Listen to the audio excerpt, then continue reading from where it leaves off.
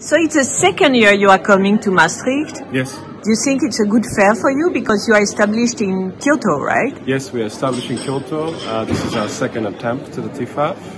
Uh, this is very, very uh, championship of the, the fair because uh, it allows me to bring uh, not only the antiquity but also the modern and contemporary as well.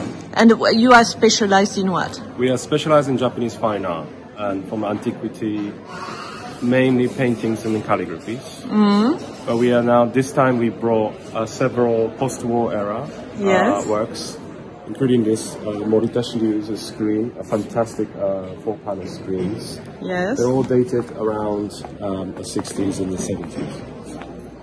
And uh, what are what is the range of prices on the booth? So price ranges, uh, uh, Mishima's the probably the contemporary one that uh, goes around uh, uh, 20, maybe 20,000 US up Yes. um, to, to the few hundred thousand US. Um, this particularly, this is amazing uh, work by uh, Lee Ufan in Yes. his correspondence. This is directly acquired from the private collector in Japan that Lee Ufan actually painted for them. So Ah. it's a straight What year? This. Is uh, from the 1990. 96. and what, so what what is the price for that? This price